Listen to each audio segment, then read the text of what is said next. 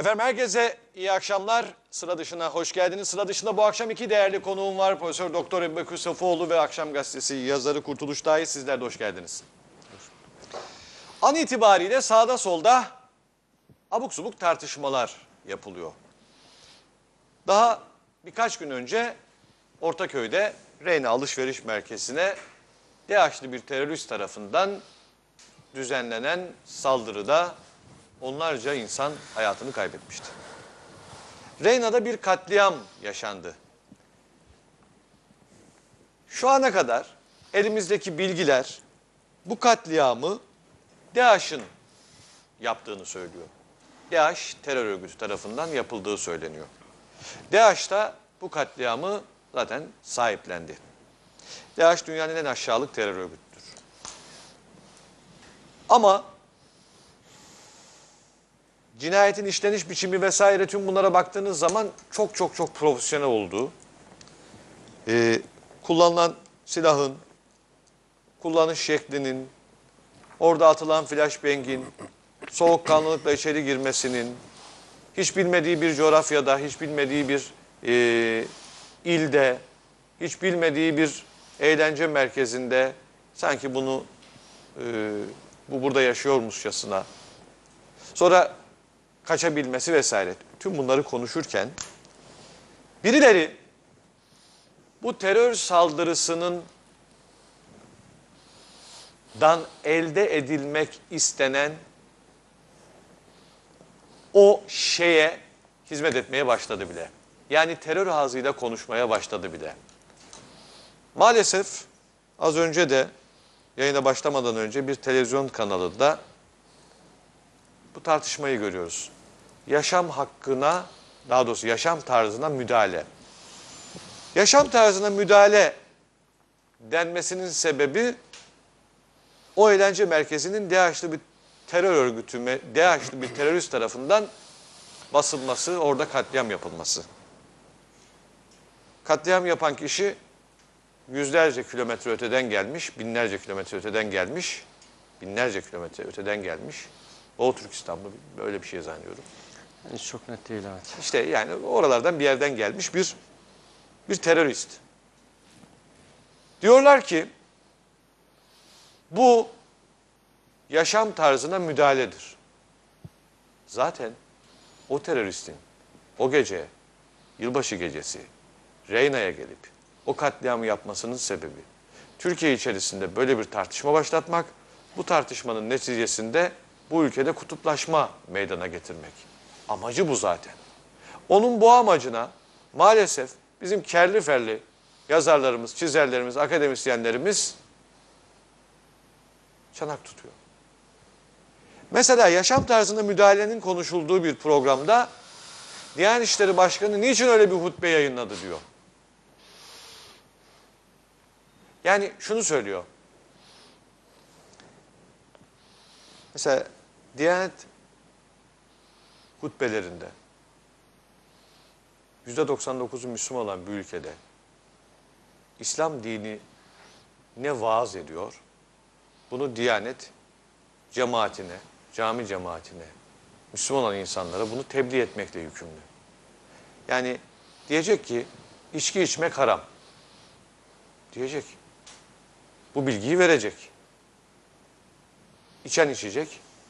Yani bu cezayı göze alan yani ahirette bunun ruzi mahşerde bir cezası olduğunu göze alan içer. Almayan içmez.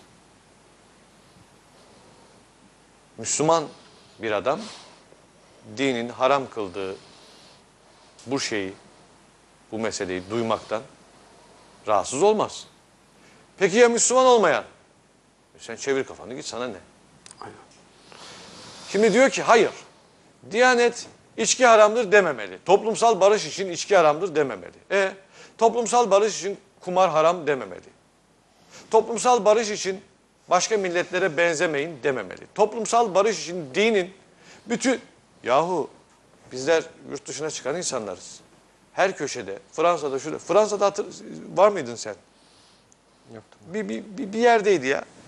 Misyonerler gelip İncil veriyor sana bilmem ne yapıyor bir şeyler anlatıyor falan filan. Yani di- dinler, din adamları, o dinin temsilcileri kendi dinlerini anlatırlar. Ha, bö- böyle bir ha, bu ülkede böyle bir tartışma yapılabilir mi? Ha, bu ne garabet bir şey. Oradaki insanlar eğlendikleri için oradaki insanların eğlendikleri için canlarına kastedilmedi. Bu bir terör. Ve bu terör arkasında üst aklın olduğu, açıkça söylerim Amerika'nın olduğu bir terör. Şimdi tüm bunları bize unutturup, bakın düne kadar bu ülkenin Cumhurbaşkanından Başbakanına, muhalefet partisi liderine, bizlere, gazetelere, yaz- yazarlara, çizerlere varıncaya kadar herkes bu terörün arkasındakileri konuşuyordu. Geldi bir el, yılbaşı gecesi bir saldırı yaptı. Bu saldırı sonrasında birileri de çıktı bu tartışmayı yapıyor. Akıl alacak gibi değil. Hocam? Şimdi yani bazen e, karşı taraf diyeceğim de yine kategorize ederek konuşuyorsunuz denilecek. Bazen karşı tarafın acaba haklı olabileceği yanları olur mu diye mutlaka değerlendirirsiniz, dikkate alırsınız, almak da lazım. Şimdi bunu söyleyenlerin şöyle zerre kadar bir nokta kadar haklılık tarafı asla yok. Yani e, hani bir cümle kullanılır. Hani şöyle söylenir. Ya çıksın şunu desin. Bak çok özür diliyorum. Lütfen. Diyanet hutbesinde diyor ki içki içmek haramdır. Sen de de ki hayır kardeşim haram değildir. Ben bu ayeti e, dinlemiyorum. Yahut ben Müslüman değilim. De tam bize ne? Sen bana, bana haram değil kardeşim de. Bana ne yani? Sen şimdi diyorsun ki hayır e, ben içerim. Bak içkiyle ilgili hiçbir derdim yok. Beni ilgilendirmez. Altını ısrarla çiziyorum. Israrla kalın kalın çiziyorum. Ee, insan e, şu- falanca içer, öbürü içmez. Öbürü sever, öbürü sevmez. Bu, bu benim sorunum değil. Bana bir zararı yoksa yani e, çok klasik bir şeydir. Bu söyleyeceğim çok klasik bir şeydir ama hani anlaşılsın diye söylüyorum. Yani bu örneği verirken de mi- midem bulanmıyor değil.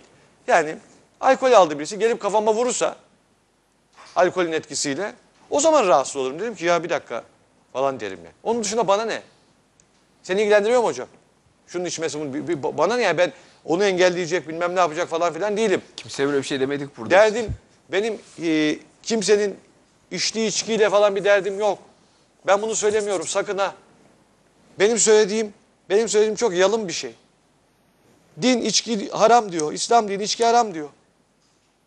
Şimdi beyefendinin keyfi için tamam madem sizin buna canınız sıkılıyor biz Kur'an-ı Kerim'den bu ayeti çıkarıyoruz. Mu denecek yani. Evet. İşte bu yaşam tarzına müdahale budur. Budur yaşam tarzına müdahale. Başörtüsü yasağı yaşam tarzına müdahale değil miydi? Daha dün İzmir'de sela okunurken gidip müezzini pataklamanız, tehdit etmeniz yaşam tarzına müdahale değil miydi? Bir kız vardı konuşma yapıyordu. Başörtülü Sivas'ta diye sanırım. sen Ağız- konuşamazsın Ağzını tutup değil miydi? onun videoları var aslında. Ha, gerek yok. Yani şuna düşmeyelim. Ee, bu oyuna düşmeyelim. Bu toplum açığıyla kapalısıyla, Alevisiyle, Sünnisiyle, dindarıyla, dindar olmayanıyla, inananıyla, inanmayanıyla, yani içeniyle, içmeyeniyle bir bütün. Ya 15 Temmuz gecesi meyhanelerden Tayyip Erdoğan'a darbe yapılıyormuş deyip şişeyi kap- kapıp dışarı çıkan insanlar vardı. Görüntüleri var. Ha bizim sarhoşumuz bile sarhoş ifadesi serhoştan geldiği için kullanıyorum. Alkollü yani serhoş kö- kö- kötü bir ifade değildir. Ser baş, hoş, hoş baş böyle bir şey. Yanılmıyorum değil mi? Evet. Ee, hakaret olarak e, kabul ediyor bunlar. Ee, bunu da hakaret olarak e, söylemiyorum. Bizim serhoşumuz bile narası bile Allah Allah diye atıyor narayı. Yani bu toplumda böyle bir dert yok. Bunlar uyduruyor, bunlar çıkardı böyle şeyleri. Yani ve bunu bir ısrarla bilerek yapıyor. Ne olur Allah aşkına. Biz içeniyle, içmeyeniyle, inananıyla, inanmayanıyla, başı açığıyla, kapalısıyla, dindarıyla, olmayanıyla, namaz kılanıyla, kılmayanıyla. Biz böyle bir ülkeyiz. Ve biz birbirimize sıkı sıkı bağlı bir ülkeyiz. Yok böyle bir derdimiz. İçen içer, içmeyen içmez. Bir adi terör örgütü geliyor, bir yere saldırıyor ve amacı gerçekleşiyor. Bu amaca hizmet eden yüzlerce gerizekalı var ya. Bu amaca hizmet ediyor. Bu yaşam tarzına müdahale. Allah'ın cezası, belası bir terör örgütü yapıyor bunu. Bu ülkede bugün bu hutbe verilmedi. Ben kendimi bildim bileli, bak ben kendimi bildim bileli, bu ülkede yılbaşı döneminde bu ülkenin hocası, imamı, dindarı ya bu yılbaşı kutlamak doğru bir şey değildir. Bu Hristiyan adetidir. Onlar bizim kurban bayramımızı kutluyor mu? Ramazan bayramımızı kutluyor mu? Derler. Hadis söylerler. Bir millete benzemeyin derler. Bunu söylerler. Ama kimse de bu toplumda hiç kimse de gidip yılbaşı ku- kutlayan birine salça olmamıştır. Bugüne kadar olmamıştır. Bugünden sonra da olamayacaktır. Eğer böyle bir şey birisi yaparsa karşısında beni bulur hocam. Bak açık söyleyeyim beni bulur. Bir dakika dur ya derim. Seni bulur, kurtuluş seni bulur. Bana ne? Sana ne? Aynen. Bu billi, yani bu biline biline insanları şu anda bir televizyon kanalının karşısına dikmişler. Bir tarafında da bu meseleleri izah etmekten aciz bir adamı koymuşlar. Karşısına da kurdu koymuşlar. Parçalattırıyor. Onu izleyen de zannediyor ki aa haklı mı? Ya yok böyle bir şey. Orada şu yapılıyor. Açık ve net. Dini yaşam tarzına müdahale ediliyor. Diyor ki bu ülkede imam, hoca, diyanet içki haramdır demesin kardeşim. Ya manyak mısınız siz? Kafayı mı yediniz? Böyle din mi olur? Bu söylenmediği zaman bunun adı din mi olur? Buna nasıl müdahale edilir? Yani bu gerizekalıca tartışma yapılıyor bugün ekranlarda. Bir kez daha söylüyorum ne olur. Bakın bu ülke bizim. Kürdüyle, Türküyle, Lazıyla, Çerkeziyle bizim. Sünnisiyle, Alevisiyle bizim. İnananıyla, inanmayanıyla, gayrimüslimiyle bizim. Dindarıyla, dindar olmayanıyla bizim. Bu gemi su alsa hepimiz batacağız. Bu ev yansa hepimiz yanacağız. Ya böyle saçma sapan tartışmalar niye yapıyorsunuz?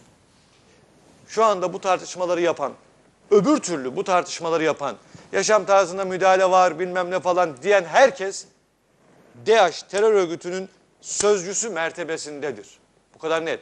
Öbür taraftan bir başka yalan uyduruluyor. Deniyor ki işte o gün o terör saldırısı sonrasında o olsun diyenlere bir şey yapılmadı. Kim o olsun dediyse lanetliyorum ve bu devletin savcısı gereğini yapsın kardeşim. Nasıl olsun ya? Manyak mısınız siz? Fakat yüzlerce sahte hesap çıkarıldı bunu bildikleri halde. Bakın yüzlerce sahte hesap. Binlerce, ne yüzde? Binlerce sahte hesap. FETÖ marifetiyle. Hemen mevcut olan hesaplar tıpkı gezi öncesi gibi hemen kontağa çalıştı, devreye girdi. O olsun, yok ki. Bu o olsun diyen adam yok ortada. Öyle bir adam yok. Bilmem nerenin üzerinden falan bir hesap açmış. Gerçek kişilikte varsa onu da yakalasınlar. Toplumda bu, bu nefret suçunu işleyen adama da en ağır cezayı versinler. Nokta. Bunu kimse savunamaz. Öbürü çıkmış birazdan konuşacağız. Ya ben çok konuştum kusura bakmayın. Estağfurullah. Yani estağfurullah. konuk sizsiniz. Gerçi ben burada hem moderatör hem gazeteci olarak oturuyorum. Bazen izleyicilerimiz kızıyor. Buyurun ne olur. aynı kaygıları, aynı dertleri paylaşıyoruz. Ee, hakikaten başlarken söylediğim gibi acaba haklı olabilecek tarafları var mı diye düşünüyorum. Hiç yok. Konuşacak hakları yok manasında değil. Tabii ki konuşabilirler. Şimdi e, tarihle ilgili şöyle bir ifade kullanılırdı vaktiyle. denirdi ki e, Sultan II. Abdülhak Hamit Tarhan son Osmanlı dönemi padişahı olup e, aynı zamanda çok iyi bir roman yazarıdır. Şimdi hangisini düzelteceksin denir. Abdülhak Hamit Tarhan padişah değil. Bir. iki padişah olsa son padişah değil. Edebiyatçı diyorsan Sultan II. Abdülhak Hamit Tarhan değil onun ismi Abdülhak Hamit Tarhan. Yani hangisini düzelteceksiniz diye e, bir yerden tutabileceğiniz bir cümle yok burada. Şimdi bir kez karşımızda Futbol Federasyonu yok. Diyanet İşleri Başkanlığı. Futbol Federasyonu bir takım açıklamalar yaptığında kendi kurumlarını bağlar. Futbol Federasyonu açıklama yaptığında aynı zamanda EPDK'nın sahasına giren şeyleri neden konuşmadı diye söylenebilir mi? Mümkün değil. Çünkü onun ilgi alanı o. Bugün e, bu tür tartışmaları yürütenler şunu da söylüyor. E Diyanet İşleri Baş bakın ne kadar zorluyor. İyi niyet yok burada. E Diyanet İşleri Başkanlığı muhatabı aynı zamanda Müslüman olmayan unsurlar da muhatabıdır. Yalan, yalan. Kaç kez e, gayrimüslimler Diyanet İşleri'nin başkanlığının hutbelerini muhatap almıştır. Alamazlar demiyorum. Almak istiyorlarsa alsınlar. Efendim ve başka bir şey daha. Diyanet İşleri Başkanlığı bu hutbeyi sinagoglarda mı okuttu? Ya da ne bileyim patrikhanede mi okuttu? Kendi alanları camide okuttu. Ki Diyanet İşleri Başkanlığı'nı kuran da Bakın din parantezi içerisinde. Şimdi saçma sapan yorumlar yapılıyor hocam. Diyor ki ama bu ülkede başka din. Ya kardeşim benim dinimin parantezi içerisinde ve benim benim dinimin mensuplarına söylüyorum bunu. Sen şimdi gidip e, Hristiyanlara diyebiliyor musun? Benim peygamberimi niye kabul etmiyorsun? Benim peygamberime niye böyle? Yahut e, onun Yahudi Musevi dininin bana bakışını eleştirebiliyor musun? Ben eleştirebilir miyim? Niye bunları konuşuyorsunuz? Konuşmayın bunları diyebilir miyim? İsrail'de ya da Avrupa'nın herhangi bir ülkesinde, Hristiyan bir ülkede Müslümanlığa, İslam dinine bakışı, Hazreti Peygamber'e bakışını e, yani yasaklayabilir miyim ben? Ya bu ülkede şöyle bir şey söylenebilir mi? Din diyor ki, İslam dini, Allah indinde son din İslam'dır falan. Bu, bu, bu ayrı. Bunu söylemeyecektim. Hristiyanlık, İncil, Tevrat tarif edilmiştir diyor. Tahrif edilmiştir diyor. Ve bu dinlerin İslam dini geldikten sonra hükmü yoktur diyor. Şimdi nasıl yani? Ben, aa onlar Hristiyanlar bozulur, Yahudilerin keyfi kaçar diye bu, bu- bunu dinden mi çıkaracağım? Bu ayeti yok mu sayacağım? Ha kaldıralım mı diyeceğim? Fethullah iblisi gibi mi yapacağız? Ezan okutuyor, la ilahe illallah, Muhammedun Resulullah yok. Bunu mu yapacağız yani? Böyle bir şey mi bekleniyor? Ya gerizekalı bunlar ya. hiç iyi niyet yok, hiç haklı taraf yok. Başından söylediğim iyi niyet olmadığında izleyiciler buradan artık görebilirler. Nasıl? Ya şimdi çıkıyor televizyon programcıları, yorumcuları. Diyanet İşleri Başkanlığı böyle nasıl bir hutbe yayınlar? Ya sen BDDK'ya, Bankacılık Düzenleme Denetleme Kurulu'na nasıl böyle bir açıklama yapabilir diyebilir misin? Ya kendi kuruluşu, kendi sistemi, kendi yapısı ki bu yapıyı kuran da yani e, belden aşağı vurmak niyetiyle söylemiyorum Mustafa Kemal Atatürk. Diyanet İşleri Başkanlığı'nı kuran Mustafa Kemal Atatürk. Bu konuda e, Rıfat Börekçi'ye ilk Diyanet İşleri Başkanı Rıfat Börekçi'ye gerektiğinde fetva yayınlatan Mustafa Kemal Atatürk. Ya Diyanet İşleri Kurumu'nun başkanlığının yapısını mı tartışmaya açtınız siz burada? Yani aslında her şeyi tartışmaya açıyorlar.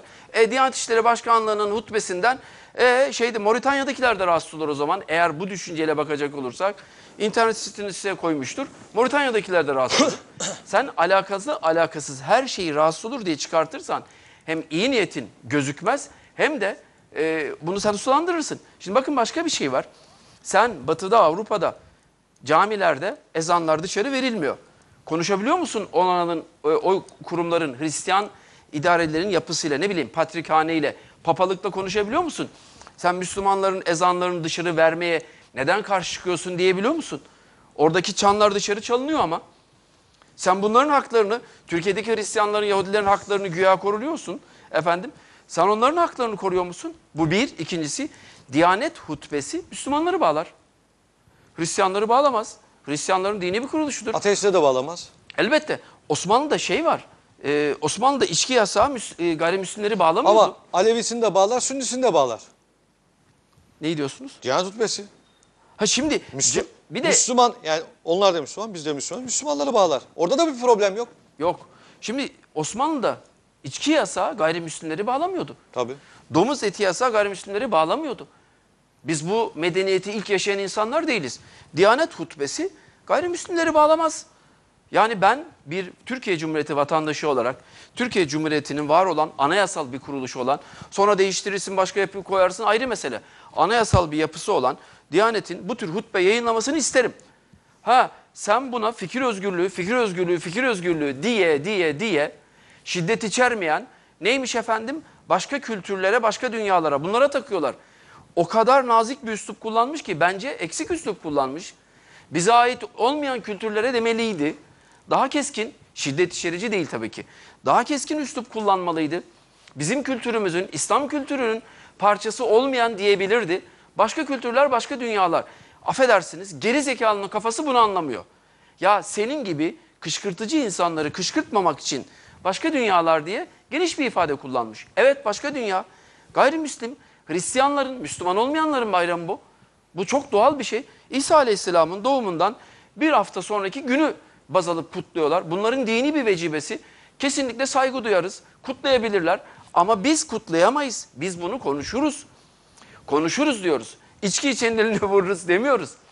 Başka bir şey daha var Ya burada. şu, şimdi e, yılbaşı yani yeni bir yılı, yeni bir yıla girmeyi kutlayabilirsin. 2016'yı bitirdik. 2017 yılına gidiyoruz. Bu modern dünyada bir etkinliğe dönüşmüş. Tamam, modern dünyada bir etkinliğe dönüşmüş. Buna benzer yüzlerce etkinlik var. Zaten e, onların kutladıkları o Christmas dediğimiz hadise de 31 Ocağı efendime söyleyeyim aralığı 1 Ocağı bağlayan gece falan filan değil. Bu toplumda Bir hafta öncesi. he, şimdi oradaki vurgu başka bir şey. Tamam mı? Yani o gece günah işlenmemesi noktasında bir vurgu. Tabii. Tamam? O gece e, diyor ki Müslüman günah işlemesin o gece. Her gece işlemesin. Her gece Ama, işlemesin. ama Diyanet bu tür tavsiyeleri yapmak zorunda. Bunun için bir şey kuruldu. demiyorum. Yani bu, bu için yani diyorum. bu bu masaya için. getirecek bir mevzu da değil. Yani Tabii bu ki. bunu yapar. Tabii. Şimdi burada bir şey daha var. Hocam Kurtuluş'a da söz vereceğim. Ben çok konuştum özür dilerim. Şu bir, bir iki şey var onu söyleyeyim müsaadenizle de. Fransa'da Bataclan tiyatrosu e, na saldırı yapıldı. 89 kişi katledildi. Fransa'da Diyanet hutbesi mi okutuldu? Fransa'da Diyanet mi vardı? Bu kadar saçma, bu kadar aptal bir şey olur mu? Peki, e, Türkiye'de bir sürü DAEŞ saldırısı oldu. Bir yılda bir tane yılbaşı olur değil mi? Bir sürü DAEŞ saldırısında hayata müdahale oldu da onun için mi oldu bu saldırı? Bu kadar aptalca bir şey olabilir mi? Bir sürü DAEŞ saldırısı yaşadık. Hepsi yılbaşı ya sebebiyle. PKK'da seküler bir örgüt. Ne, ne diyeceğiz şimdi? Di- Dine müdahale diye mi bağıracağız? Yani. Ya gelir yarın biz Allah göstermesin e, başka bir e, düşünceyi zikretmek istemiyorum. Bombalasa ne yapacağız? Bu tartışmanın tersini mi yapacağız? Allah aşkına ya. Ya. Burada bir şey daha söyleyeceğim. Müsaadenizle hıma, sözümü tamamlamak için söyleyeceğim. Şimdi bakın Allah korusun dediğiniz gibi yılbaşından sonra bir saldırı olsa bu konuşan özür diliyorum geri zekalılar hayat hakkına müdahale diyebilecek mi? Yılbaşı yok ve e, Diyanet'in hutbesi olmayacak. Diyebilecek misiniz bunu? Biz demeyeceğiz. Biz demeyeceğiz biz şimdi de demiyoruz. Çünkü, çünkü bizim sırtımızda yumurta, küfe, yumurta küfesi var ve biz bu ülkenin birliği bütünlüğünden yanayız. Ama onun öyle bir derdi yok. Yok ben biliyorum ama şunu söyleyeceğim. Dese bile bir dayanağı olacak mı? Ne olacak? Yok çünkü. Ya hutbe üzerinden. Ya bu- terör terör adı terör bunun. Terör ya. Başka bir şey daha var. Bu terörist keşif yapmış, çalışma yapmış. Sanki veda şey Diyanet'in Türkçe hutbesini okumuş da etkilenmiş de gitmiş saldırı yapmış. Bak sen. Şimdi bunu söylüyorlar. Ya bu teröristin yurt dışından geldiği aşikar. Türkçeyi biliyor yani biliyor mu bilmiyoruz ama. Neye hizmet ettiği belli. Ha, Hocam Kurtuluş'a vereyim mi? şu cümleyi bitireyim de. Şu cümleyi bitireyim. Şimdi bunun keşif yaptığı, hazırlık yaptığı Diyanet hutbesi Cuma günü ilan edildi değil mi? Bir buçuk gün önce, bir gün önce. Bunu dinledi, Bundan dolayı gitti burada öyle mi? Ya böyle bir şey Ya bu kadar kötü bir şey, bu kadar... Burada ne var biliyor musunuz? İyi niyet yok. Bu tartışmalarda barışa hizmet yok. Acaba nasıl saldırırız kaygısı var? Müsaadenizle şunu da söyleyeceğim. Sivas'ta bir okulun kapanış e, mezuniyet töreninde birinci olmuş kızın ağzını kapatıp sürükleye sürükleye geri çektiler. Sen burada konuşamazsın. Senin burada konuşmaya hakkın yok diye. Konuşturmayız dediler, konuşamazsın. Asıl müdahale oydu. Sizin söylediğiniz bir şeyi daha söyleyeyim. Siz böyle yaparak Diyanet'in aslında çalışma şartlarını engelliyorsunuz. Diyanet'in çalışmasına müdahale ediyorsunuz. Ben vergi veren bir vatandaşsam yakınlarıma, arkadaşlarıma, çocuklarıma e, yılbaşında yılbaşının ruhuna uygun su bile içmemesini isterim, tavsiye ederim. Günahtır. Bunu Diyanet'in söylemesini de isterim. Diyanet'in. Kalkıp Futbol Federasyonu'nun söylemesini isterim demiyorum. Herkes kendi işini yapacak. Sen de bir tane gazeteci, bir tane yorumcu kalkıp Futbol Federasyonu bunu yapamaz, karışamaz. Sana ne? Sana ne? Senin kuruluş kanununda böyle bir şey yok. Adam kuruluş kanununa uygun çalışıyor.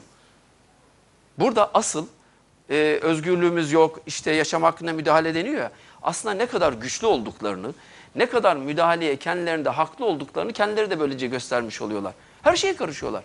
Tamam karışın da yalan söylemeyin, iftira atmayın yani. Kurtuluş. Evet. Ee, biz e, Reyna saldırısından sonra e, bu terör meselesini konuşamadık. Terörün sebeplerini, e, hedeflerini, amaçlarını e, bir bütün olarak e, bütün medya grupları da dahil olmak üzere ortak bir şekilde e, değerlendiremedik. E, bunun nedeni e, bu terör saldırısının e, yaşam tarzına yönelik bir saldırı olduğunu e, öncelikle sosyal medyada e, biraz algı operatörlüğü yapan e, bir takım hesapların sanatçı, siyasetçi e, ya da e, gazeteci e, kimliğinin arkasına saklanmış figürlerin etkisiyle başlatılan tartışmalar e, koskoca bugün e, Doğan e, grubunun başını çektiği bir yaşam tarzı kaygısı, endişesi tarzına bürünmüş durumda.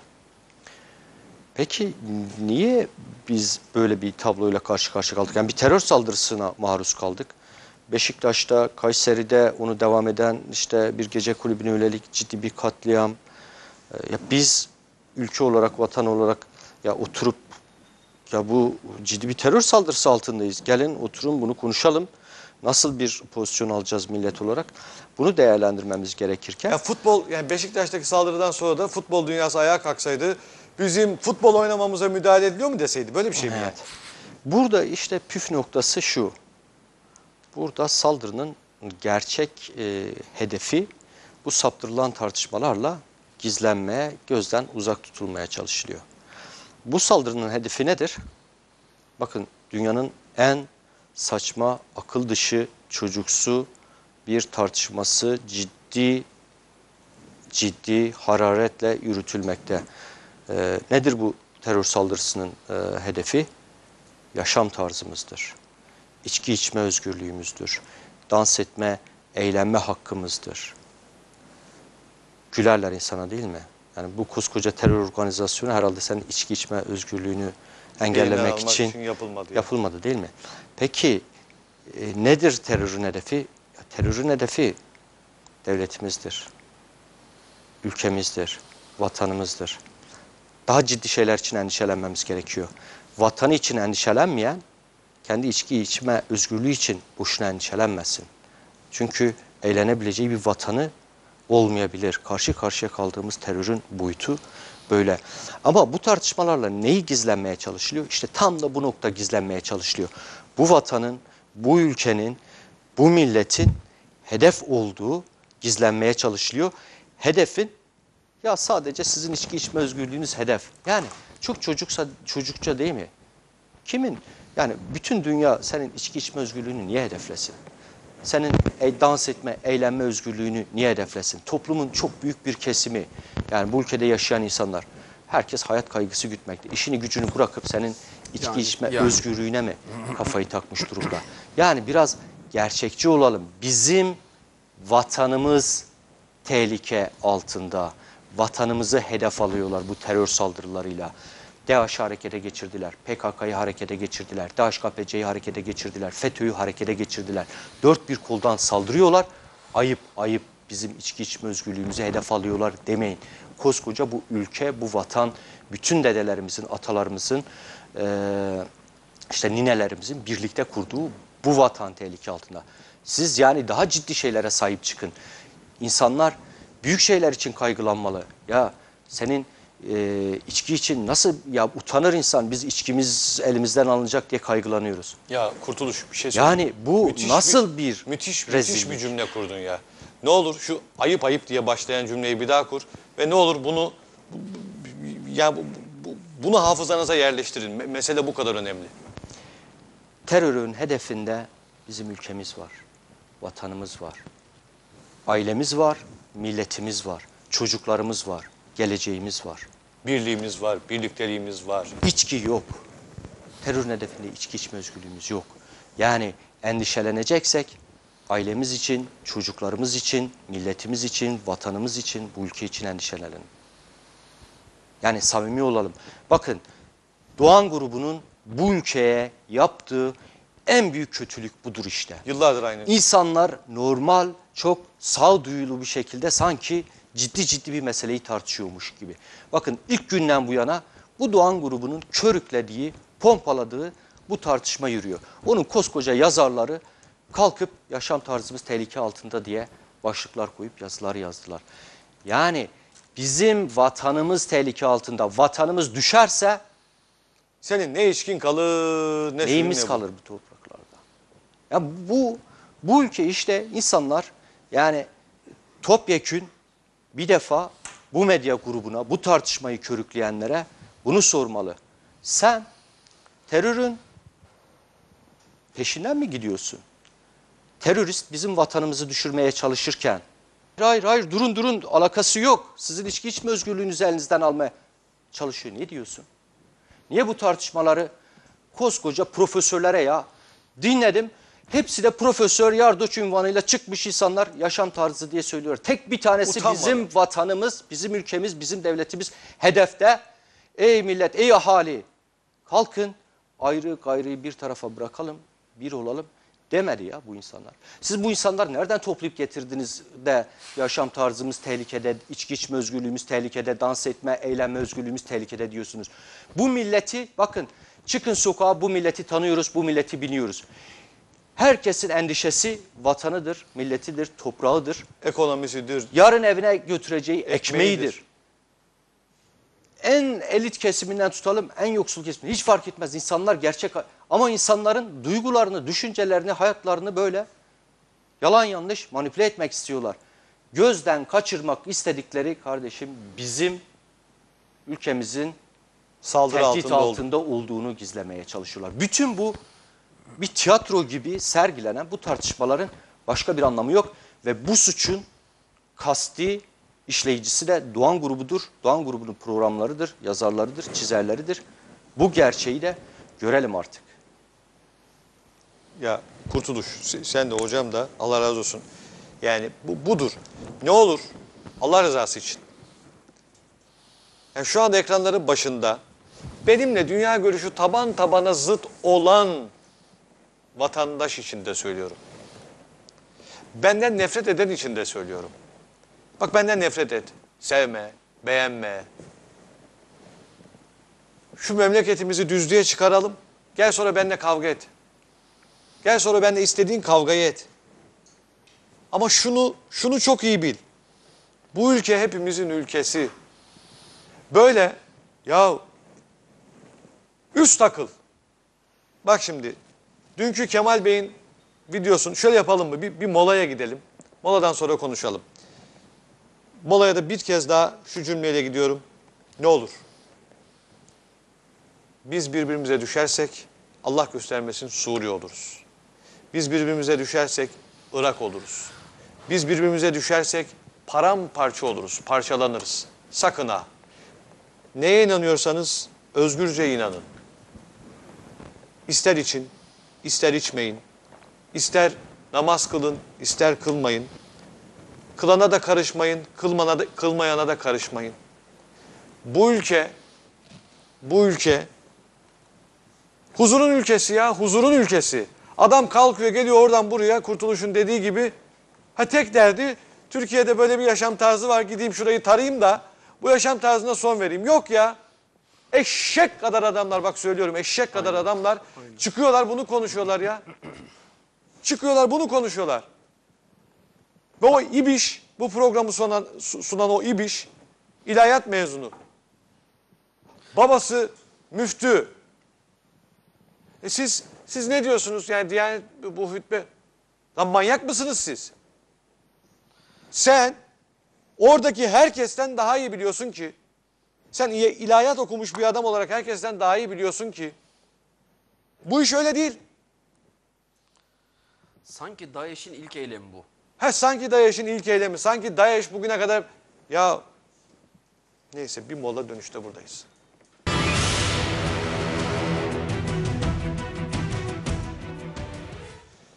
Yeniden birlikteyiz. Kaldığımız yerden devam ediyoruz. Şimdi bunun temellenmesi için bir de bunun temellenmesi için yaşam tarzına müdahale, layıklığa karşı işler yapın. Önce şunu söyleyeyim.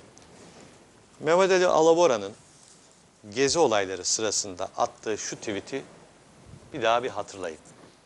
Ne diyordu? Mesele ağaç değil. Sen hala anlamadın mı? Güncelleyelim. Diyor ki mesele yaşam tarzı değil. Sen hala anlamadın mı?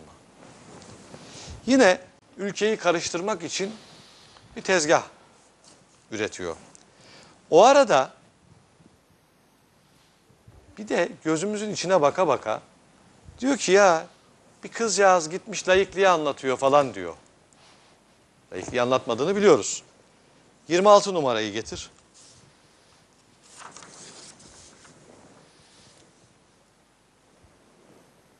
...26 numara. Evet. Diyor ki... ...o kahve kahve gezip provokatörlük yapan... Barışçıl bir yöntemle layıklığın önemini anlatmaya çalışan gençlerimizin terörist ilan edilip hedef gösterilmesi haksızlık ve ahlaksızlıktır. Bir de videomuz var. Ee, Selin Sayık Böke'nin ifadeleri. Bir de onu verin.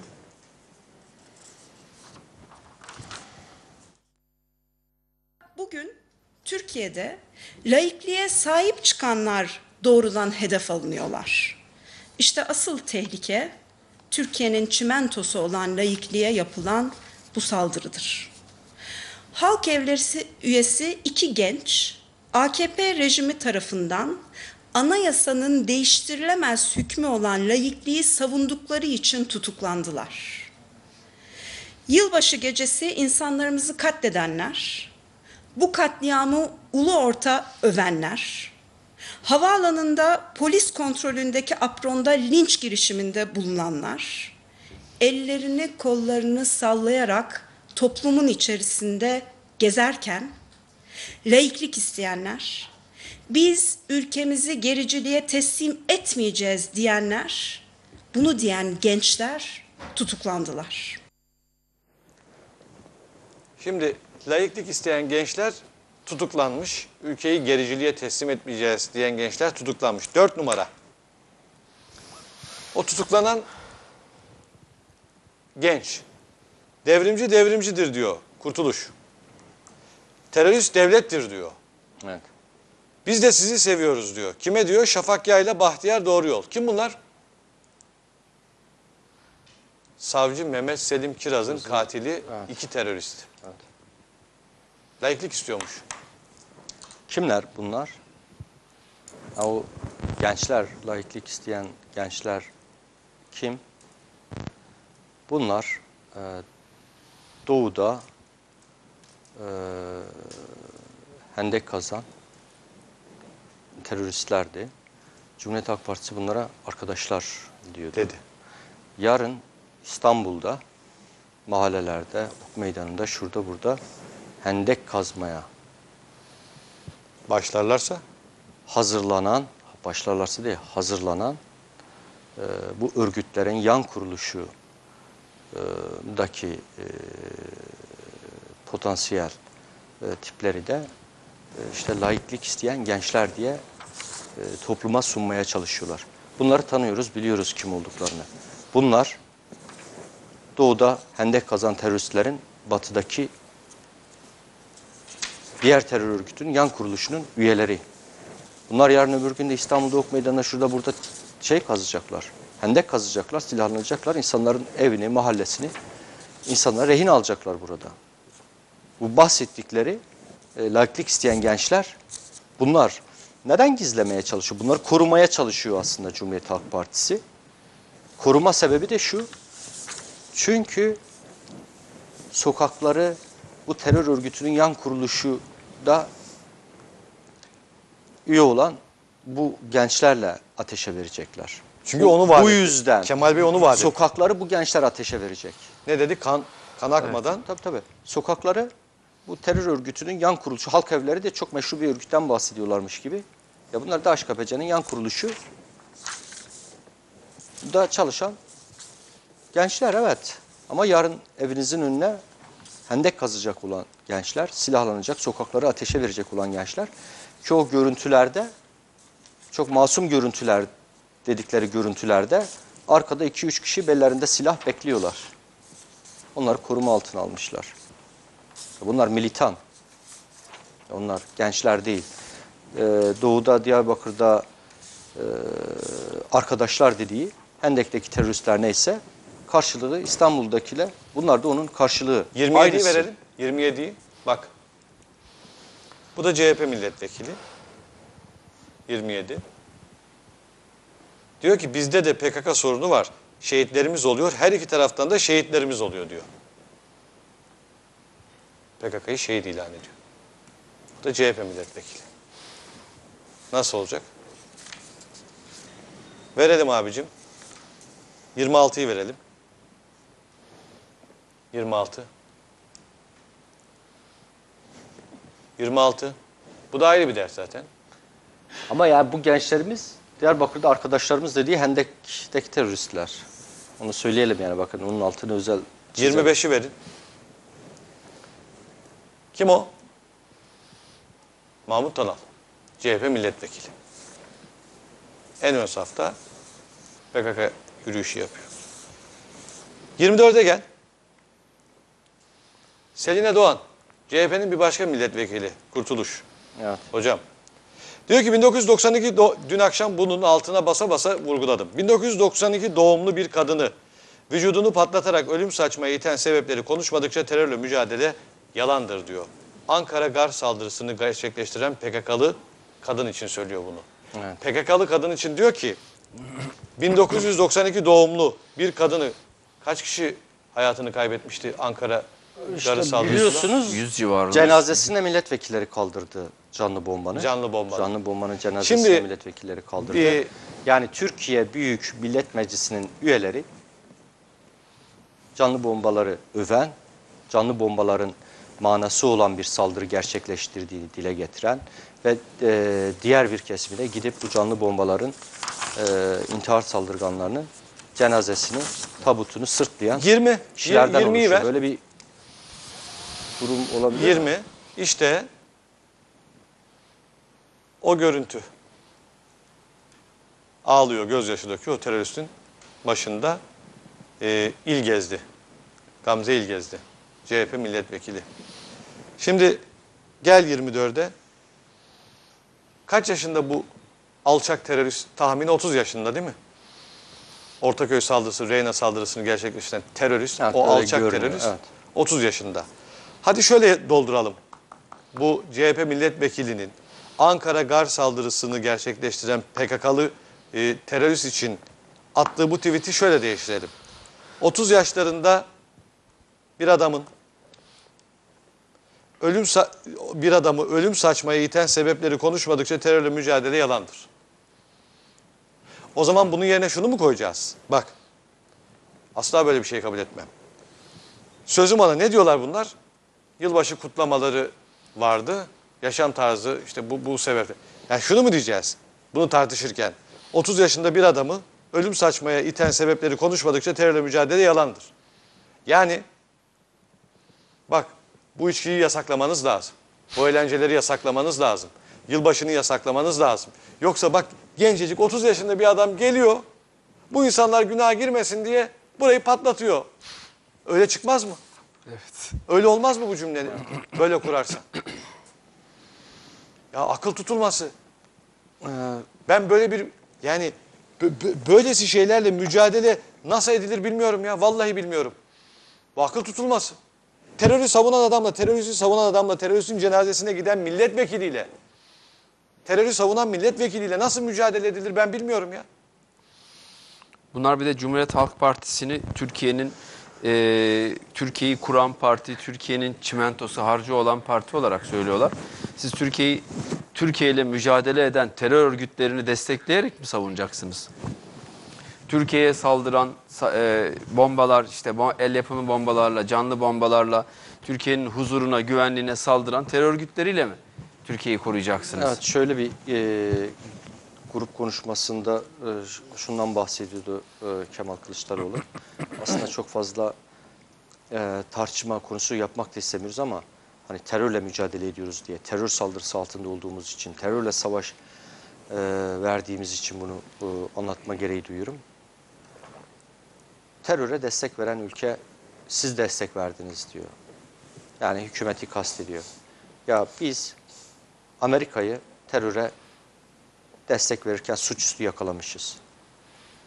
PYD'yi silahlandırmış, kanıtları ortada, Suçüstü adım adım tarihine silinmeyecek bir kara leke olarak ABD'nin e, önüne koyuyoruz biz bunu. Diyoruz ki terör örgütünü destekliyorsun, artı biz Elbap'ta DAEŞ terörüyle mücadele ederken siz bize yardım etmek yerine 700 DAEŞ'linin Rakka'dan Elbap'a geçmesine göz yumdunuz. Adım adım her şeyi önüne koyuyoruz. Bu ülke, bu ülke Devam et. Amerika'nın seçilmiş başkanı Trump diyor ki Evet. DAEŞ'i Obama ve Clinton kurdu diyor. Obama Clinton kurdu, e, Hillary yardım etti bunlara. Kemal Bey de diyor ki DAEŞ'e sen destek veriyorsun. Evet, şimdi burada Biz DAEŞ'le mücadele eden tek ülkeyiz. Amerika artistik uçuşlar yapıyor üstünden. Evet. Vurmuyor, gidiyor. Buna ses çıkarmıyor kimse. Amerika'nın savunmasını burada bizim ülkemizi, bizim hükümetimizi suçlayarak yapmaya çalışıyorlar. Ya biz teröre destek verdiği için suçüstü yakaladık Amerika'yı. Sen burada nasıl Türkiye'yi suçlayabilirsin, kendi ülkeni, kendi vatanını suçlayabilirsin teröre destek verdiği için? Kaldı ki CIA özür diledi DAEŞ'la irtibatlandırdığı için Türk yetkililerini. Ya Büyükelçi ya spekülasyondur dediler, yoktur öyle bir şey dediler. Büyükelçi çıktı canlı yayında, evet bizim hatamız vardı, düzelttik. Bu da bir erdemdir bizim için. Dedi mi demedi mi? Dedi. Yani böyle bir durumda bile kendi ülkelerini suçluyorlar. Bakın burada sorun şu. Bir milletvekilinin görevi kendi vatanını savunmasıdır. Kendi milletini savunmasıdır. Bunun için oradadır. Fakat bunlar teröre bahane üretmek için bütün mesailerini harcıyorlar. Teröre destek vermek için bütün mesailerini harcıyorlar. Bu. Eğer Evet. İran Türkiye ile karşı karşıya gelirse Türkiye'ye karşı İran safında olurum. İran düşerse bütün Doğu düşer. Eren Erdem. Yani tuhaf Türkiye Büyük Millet Meclisi böyle kurulmamıştı. Yani gazi bir meclis. Bu ülkeyi İstiklal Harbi'ni vererek kuruldu. Yani biz böyle bir milletvekilleri daha doğrusu sözde Cumhuriyeti kuran parti, Cumhuriyet'in parçalanması için çalışan, didinen milletvekillerine mi sahip olacaktı? Yani Cumhuriyet Halk Partisi'nde diyoruz ya bir şey söylemek istemiyoruz. Böyle zor günlerde diyoruz ki gelin birlikte kardeşçe bu ülkenin müdafasını yapalım. Bırakalım detay çok e, yani daha önemli meseleler var. Vatanımız var her şeyden önce.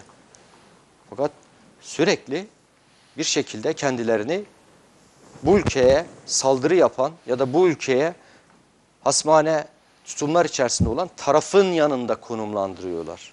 Ve ısrarla bundan bahsediyorlar. Amerika Türkiye'den özür diliyor DAEŞ'la irtibatlandırdığı için. Biz teröre destek verdiği için Amerika'yı suçüstü yakaladık. Hayır Türkiye teröre destek veriyor diye buradan içeriden Türkiye'yi vurmaya çalışıyorlar. Yani bunun adı içeriden evet Türkiye'yi vurmaktır. Burada bizim aslında şu, şu gün, şunu ya şu günlerde şunu konuşuyor olmamız gerekirdi. Aa ilk defa canlı bomba. Ben daha, daha öncesini çok hatırlamadığım için böyle söylüyorum. İlk defa canlı bomba uzak doğudan geldi. İlk defa böyle bir Terörist. unsur kullandılar. Acaba biz bunu nasıl önleyebiliriz? Türkiye bu canlı bombalardan işte e, işte otomatik silahlı saldırılardan kendisini nasıl koruyabilir? Biz bunları konuşmamız gerekirken çıkmışlar laikliği konuşuyorlar. Hafife almıyorum. Konuşun laikliği efendim ama siz burada birinci mesele olarak laikliğe bir hedefi saldırıyı gündeme getirmiş Tam oluyorsunuz. da bu bağlama senin cevaplaman gereken bir mesele var. Kemal Kılıçdaroğlu'nun işte dünkü o grup toplantısındaki o bölümü verin ekrana. Bunları yapıyor. Bir üst akıl yapıyor. Bunlar hiçbir şey yapmıyorlar. Her şey üst akıl yapıyor. Sen hükümet değil misin kardeşim? Hükümet. Hükmedeceksin. Oradan geliyor zaten. Sen hükmetme gücünü kaybetmişsin. Aciz durumdasın ve bunu itiraf ediyorsun. Üst akıl yapıyor, ben bir şey yapamıyorum. Üst akıl bu tuzakları kuruyor. E sen hükümetsin, tuzağı boz kardeşim. Ha bunları yapamıyorum. Yapamıyorsan istifa edeceksin kardeşim, istifa edeceksin. Evet hocam. Şimdi bir kez e, bunun daha birçok böyle demeci var.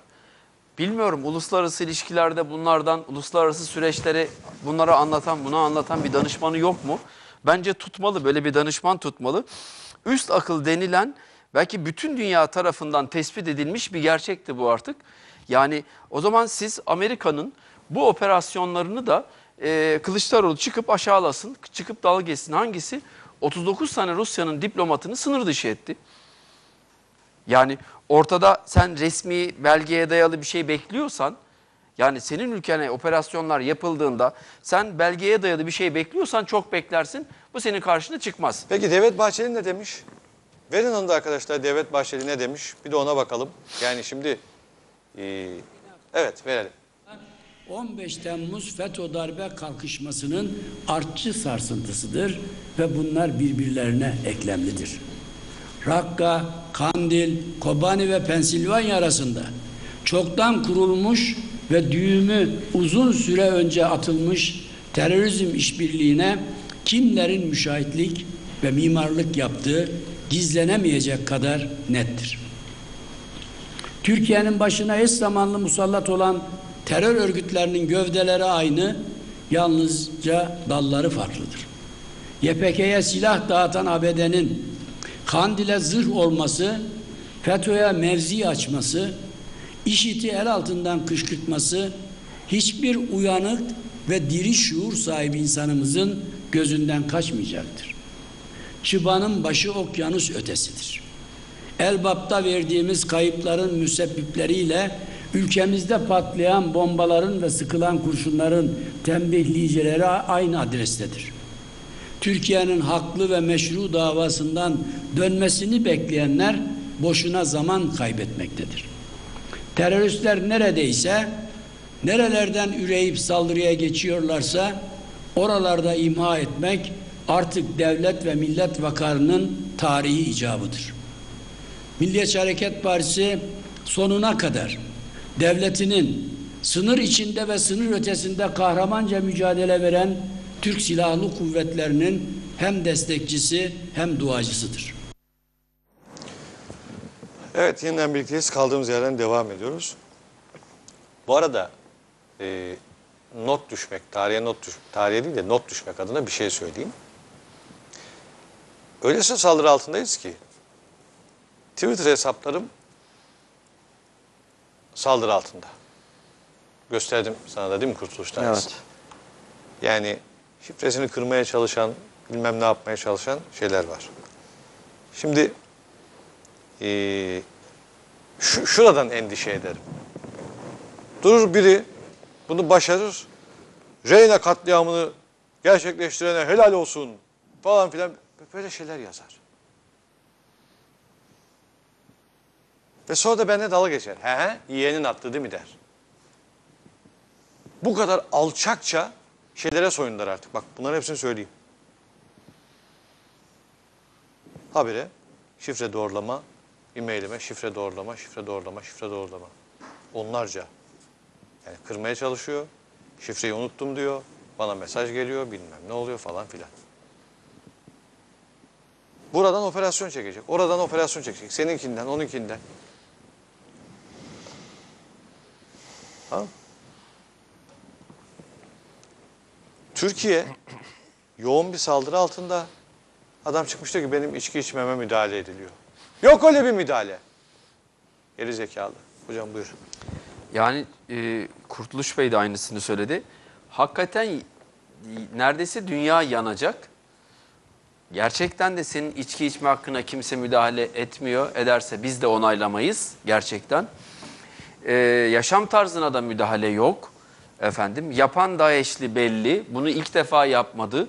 Bütün dünyada yapıyor. Fransa'da yaşam tarzına Hocam. müdahale var. İslam'ın e, öğretisi vesile olmayı da aynı günahı işlemekle Tabii. aynı kılıyor. Tabii. Ama buna rağmen bu ülke yanmasın ben yanayım.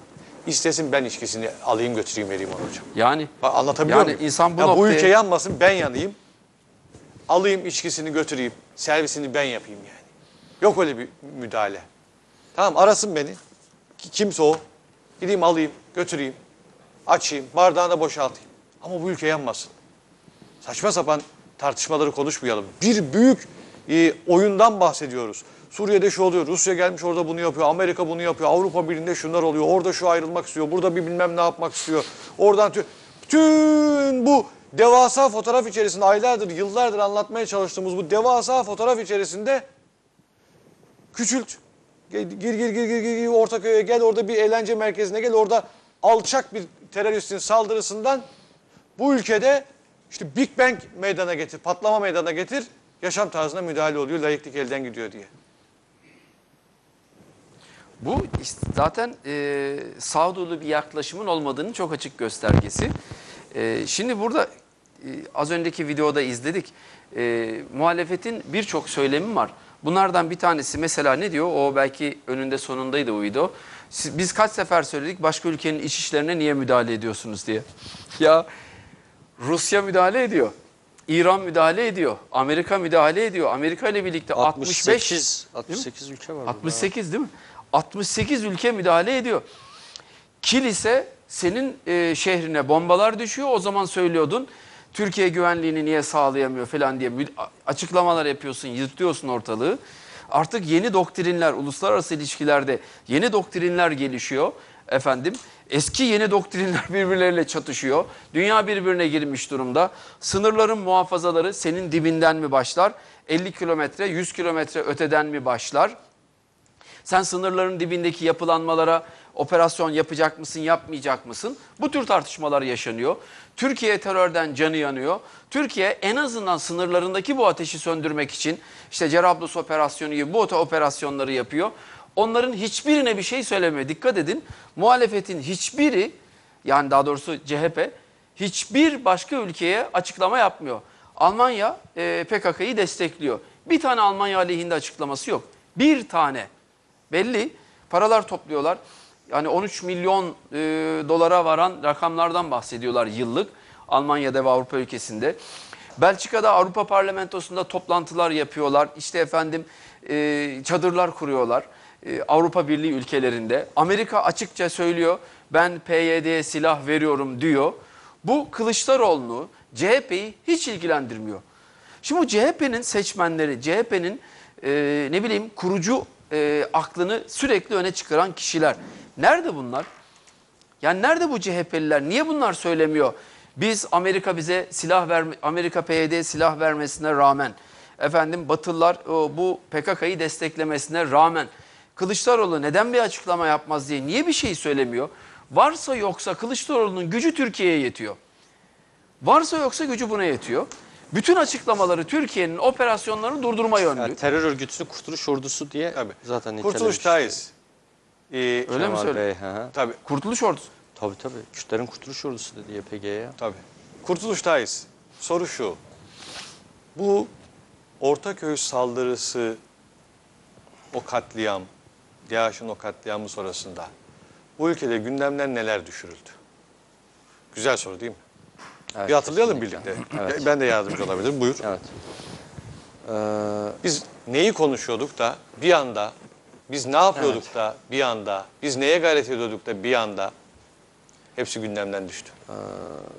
Tabii bu ülkede e, biz e, aslında 15 Temmuz'dan sonra bizim ülkemizi e, bu FETÖ'yle e, adım adım e, mücadele gündemini e, devam ediyordu. Bir defa bütün bu saldırılar bu FETÖ'yle mücadele gerçeğine bir darbe vuruyor. Biz bizim temel gündemlerimizden biri FETÖ'ydü. İkincisi güney sınırlarımızda kurulmaya çalışılan bir terör devletiydi. Daha geçen hafta ondan fazla askerimiz şehit düştü. Elbap'ta.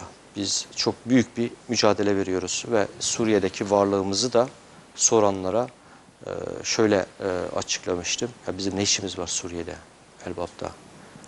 Çünkü Türkiye'nin bölünmesine Suriye'den başladıkları için biz Elbap'ta bulunuyoruz. Yani Elbap'ta aslında Ankara düşmesin diye mücadele ediyoruz. Orası bir mevzi, orası bir cephe ve orası dünyanın bütün ülkelerinin, bütün devletlerinin ağız birliği etmişçesine söylediği DAEŞ terörüne karşı Türkiye bir tek cephede mücadele eden ülke konumunda. PKK'yı içeride bitirdik. Hendek terörünü gerçekleştirdik. Adım adım PKK ile mücadele içeride emin adımlarla yürüyordu. Terörün uzantısı yine FETÖ'ye benzer. Bu da tabii eee, PKK'nın şehirdeki uzantılarına yönelik ciddi bir mücadele veriliyordu. Ülkemizi kalkındırmak için ekonomi seferberliği başlatmıştık. Milli bir seferberlik. Milli birlik havasında ülkemizi ekonomik olarak e, kalkındırmaya, öte yandan gerek FETÖ'ye karşı, gerek PKK'ya karşı, gerekse de e, ta Suriye'de Elbap'a karşı ciddi bir mücadele içindeydik. Temel gündemlerimiz ülkemizin, vatanımızın korunması, kalkındırılması çerçevesindeydi. Döndük nereye? Laikler, dindarlar, Aleviler, Sünniler ne üzerinden bu tartışma başladı? DAEŞ terörünün bir gece kulübünü basması üzerinden. Ve nedir yaşanan? Yaşanan şudur. Salih Turan çok güzel deyimiyle bugün yazmış. Toplumsal fay hatlarını medya kötücül bir enerjiyle yeniden doldurmaya başladı ve bu neyin hazırlığı? Bir hazırlık. Biz ülkemizi dışarıda cephede savaşırken arkada hendek kazmaya başladılar. Bakın bunun adı hendek kazmadır. Bu laiklik tartışmalarında, yaşam tarzı tartışmalarında sebebi şudur. Arkadan Türkiye'ye hendek kazıyorlar. Türkiye ihanettir bu tartışmalar. Vatan bu kadar tehlikedeyken, bizim asıl gündemimiz belliyken, vatan savunmasıyken biz ya insanların içki özgürlüğü, eğlenme özgürlüğü baskı altında toplumun bir kesimi bunu çok ciddi tehdit sayıyor ve gidip gece kulüplerini basıp bombalayıp insanları katlediyor'a dönüştürdüler. Bu tartışma şu an bütün Türkiye'de böyle bir tartışmayı yürütmeye çalışıyorlar. Ve maalesef medya kuruluşlarıyla, ellerindeki iletişim imkanlarıyla bu tartışmayı devam ettiriyorlar. Oysa bizim asıl gündemimiz ne? İnsanların tartışacağına aynı İstiklal Harbi'nde olduğu gibi biz yeni bir zorlu şartlar yaşıyoruz. Yüzyıl sonra karşımıza durursak Sevr gelecek. Biz kendi 780 bin kilometre karelik bir sınırlarımızı koruma altına almaya çalışıyoruz. Bunu bir tarafa ittiler. Bu gündemi bir tarafa ittiler. Geldiler yaşam tarzı deyip daha fazla içeriden bölmeye çalışıyorlar bu milleti. İçeriden kutuplaştırmaya, bölmeye, ayrıştırmaya ve kaos içine sürüklemeye çalışıyorlar. Ne yapmaya çalışıyorsunuz? Yani bizim İstiklal Harbi veriyoruz diyoruz. Milletin yek vücut olması gerekir diyoruz. E bunlar içeriden milleti ayrıştırmaya dönük tartışmaları e, sürdürüyorlar. Ve terör de bunun için var zaten. Şimdi FETÖ bitti. FETÖ bitti. Yani bitti derken Evet. beli kırıldı. Deşifre oldu. Amerika diyor ki dün akşam burada söyledim. Bugün bir kez daha tekrarlayayım. Belki e, dün izlemeyen ol- olmuştur. Amerika APO'yu verdi, FETÖ'yü aldı. Evet. Doğru mu? Şimdi diyor ki FETÖ'yü vereyim. Ama sen bana PYD'yi ver. Evet. DAEŞ'i gösterip DAEŞ'i gösterip PYD'ye. FETÖ'yü vereyim, PYD'yi ver. Peki bunun zeminini kim yapıyor? Yine medya üzerinden yapıyorlar. Mesela kim? Amber'in Zaman. Diyor ki bu diyor YPG, PYD, SDG neyse bir sürü ismi var. İyi, iyi ki bunlar var, iyi ki PKK var diyor yani. Çünkü bir tek onlar diyor mücadele ediyor. Nerede mücadele etti? Hangi mücadele? Peki daha önemli bir şey. BBC ne yaptı? BBC kendi başbakanından Reyna için demeç istemek yerine gidip terör örgütü liderinden demeç aldı. Demeç aldı. Yani kendi başbakanına bağlanacak ya ne diyorsunuz? İstanbul'da terör saldırısı var. Amerika'nın sözcülüğünü... Demek yerine terör örgütüne bağlandı. Unutmayın DAEŞ'ı da Amerika kurmuştur. PKK'yı da PYD'yi de bu ülkede ben yıllar önce e, çekiç güç haberleri yaptım. Çekiç güç bölgede PKK'ya silah desteği veriyordu. Hatırlıyorsun değil mi? PYD ile ilgili senin söylediğini tamamlayayım da Turgay. PYD'nin, e, PKK'nın başındaki işte Abdullah Öcalan'ın kardeşi Osman Öcalan. PYD için ne dedi, nasıl kuruldu dedi. ABD'nin siparişi üzerine kurduk dedi PYD'yi biz. Ve P DAEŞ ne zaman kuruldu? Eş güdüm, eş zamanlı. Aynı tarihte kuruldular. E, 2002'nin sonunda başladılar. Sözüm ona bunların Kobani'ye. E, şeye 2003'te gönderdi oraya. 2004'te bu iki örgüt kuruldu. Yani Amerika, PYD'yi de kuran Amerika, DAEŞ'i de kurdurtan Amerika. Yani örgütün lideri diyor ki ya bize sipariş üzerine biz kurduk diyor PYD. Amerika istedi biz de kurduk diyor bu örgütü. DAEŞ nereye gidiyordu? İstikameti neresiydi ilk, ilk çıktığında? Bağdat değil mi? Irak'a gidiyordu. Ne diyorlardı? Şiileri kesecek, onları öldürecek diyorlar değil mi? Evet. Bu tırnak içerisinde küffara savaş açmış bir Evet. örgüttü değil mi? Bir de ne diyorlar bunlara? Normal cihatçı diyorlar değil mi? He. Cihatçı diyorlar. Nerede? Hani Müslüman yürek cihat mı edilir? Ma- manyak mısınız? Şimdi ne yapıyorlar? PYD'yi meşrulaştırmak adına. Amerikan ağzıyla Amerika'ya yardım ediyorlar. Çünkü mesaj geliyor Türkiye'deki yamaklarına.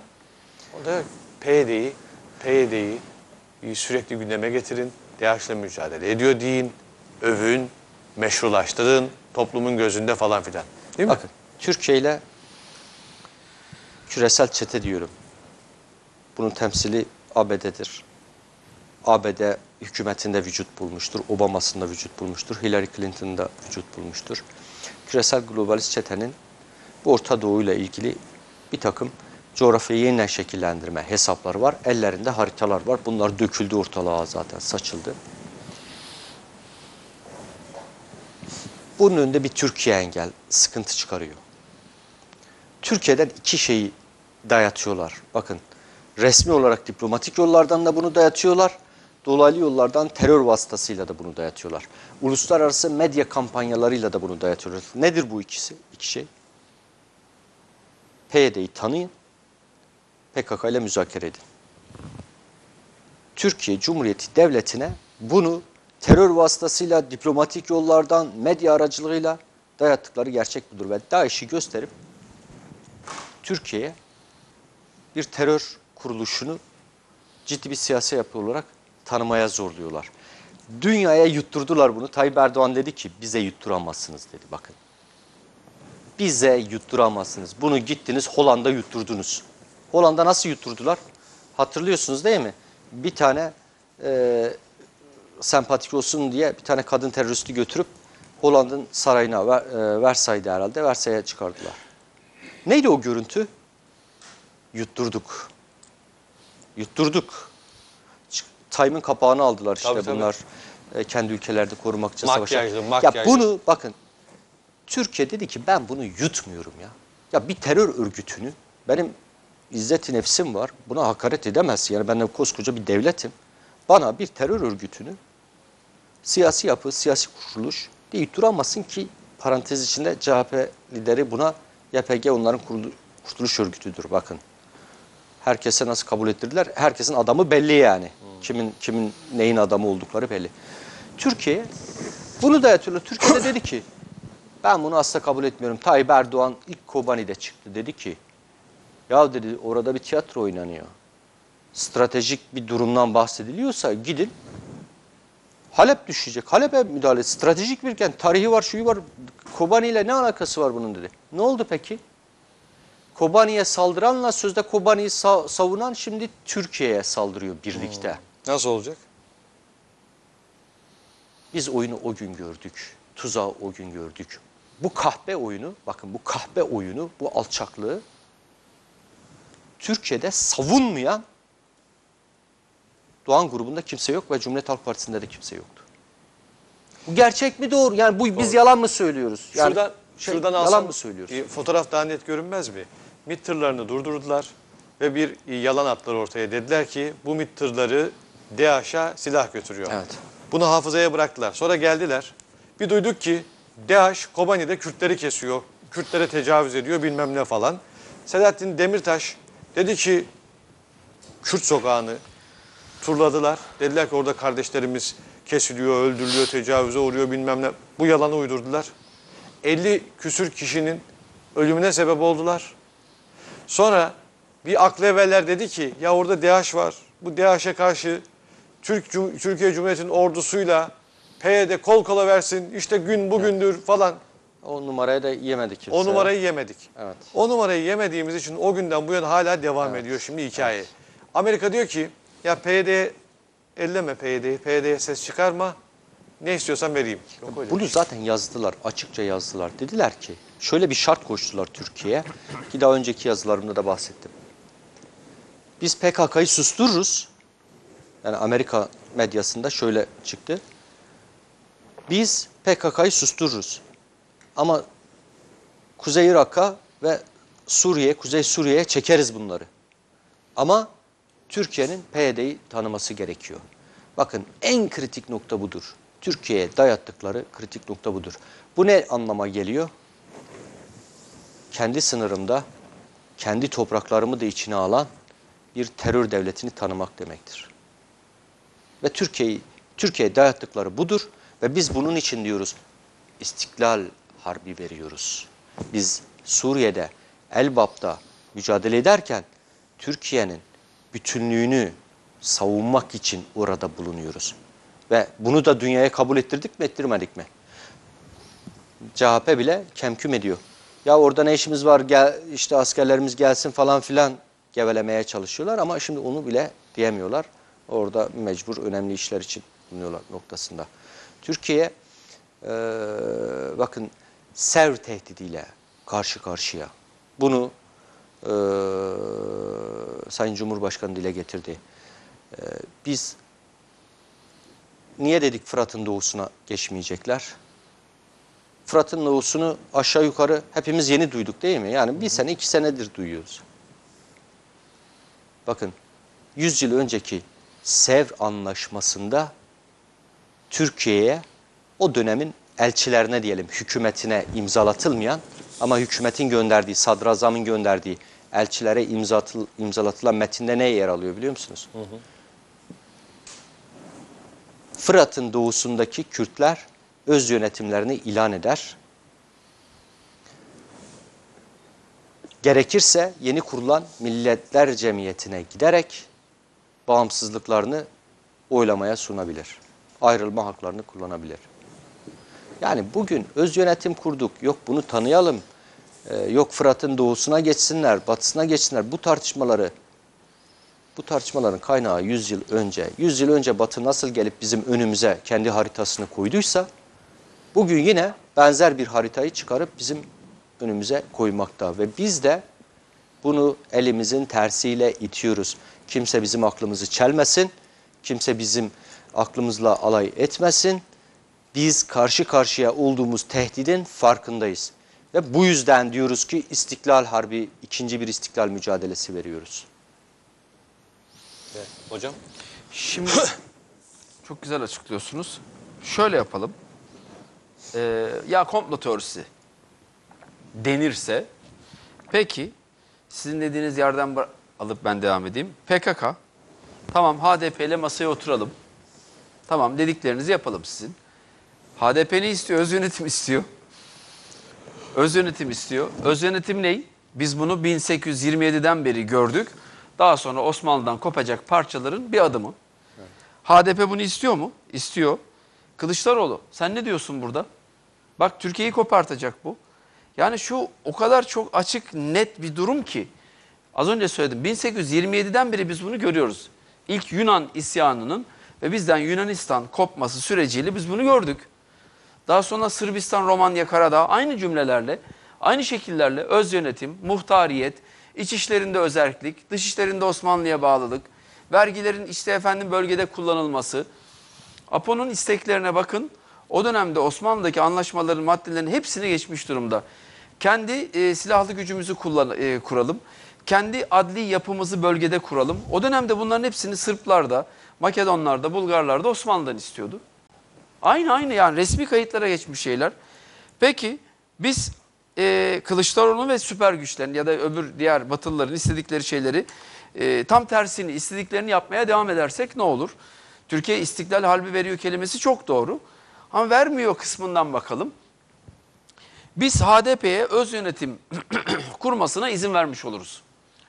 O bölgede sen artık istediğin bir şekilde yönetimi tesis edemezsin. Bir. iki. Başka? Salih Müslim. Sen Salih Müslim'i tanımış olacaksın. Salih Müslim'in PYD bölgesine şey e, Barzani bölgesine kadar egemenliğini taşımasına razı olacaksın. Hatırlayın Rus uçağını düşürdük. Rus uçağını düşürdükten sonra biz oraya ne bir taş atar hale geldik ne de uçak uçurur hale geldik. Cerablus Mare hattını PYD kapatmaya devam ediyordu. Membiç'i aldı. Ya gözümüzün önünde bize yalan söylemiyor mu orada Amerika? yapmaya çalıştığı orada ileride bir bir devlet, bir teşekkül, Türkiye'ye tehdit unsuru olabilecek bir, bir, bir şey planlıyor. Tamam mı? Bu plan içerisinde de onun orada olması lazım. Kesinlikle. Bugünden. Nasıl? İşte Filistin'e geldi İsrail. 3 4 parça ev aldı, arsa aldı, toprak aldı ve sonra. Derdi bu şu anda. Evet. Şimdi Membiç'te Amerikalılar bize ağızlarıyla söylediler defalarca. Dediler ki PYD orada olmayacak. Girdi. E çıkacak. Çıktı dedi bir sürü yalan söyledi. Sonra bir daha çıkacak dedi. O zaman bir önceki çıktı dediğin yalandı. Sonra bir daha çıkacak dedi. Hatta beraber çıkartacağız dendi. Ya bilmiyorum Türkiye'deki muhalefet daha neyi görmesi gerekir? Türkiye açıkça bir istiklal harbi yaşıyor. Bir cumhurbaşkanı bunu ağzıyla söylüyor. Daha nasıl söylesin bir cumhurbaşkanı? Daha nasıl açık söylesin? Hadi cumhurbaşkanı söylemedi. Yani az önce söyledik. PKK öz yönetimle Türkiye'de Güneydoğu'da Kars'tan nereye kadar biliyor musunuz? Hedef Mersin. Kars'tan Mersin'e kadar bunun haritaları daha önce çizilmişti. Bernard Lewis'in haritaları deyip tarasınlar görebilirler. New York Times'ın haritaları deyip tarasınlar görebilirler. Bizim haritalarımız değil. Bizim haritalarımız oldu mu komplo teorisi olur. Efendim Condoleezza Rice bunu ağzıyla söyledi. 22 ülkenin rejimleri, haritaları, liderleri değişecek dedi. Baksınlar. Şimdi Türkiye içeriden PYD üzerinden bir kuşatılma, dışarıdan da içeriden PKK, dışarıdan da PYD üzerinden bir terör koridoru kurularak Türkiye hem ülke kopartılmaya hem de e, bölgede Orta Doğu'da artık ticaretini yapamayacak halde coğrafyasını kullanamayacak hale getirilmeye çalışılıyor. CHP'ye tutun bakın bu PKK'yı savunuyor. Kılıçdaroğlu. Şimdi Kılıçdaroğlu'nun savunmasını aslında bir bakıma haklı bulmak değil de mantıklı sayıyorsunuz. Neden? Kılıçdaroğlu'nun gelişi normal mi? Gelişi normal mi?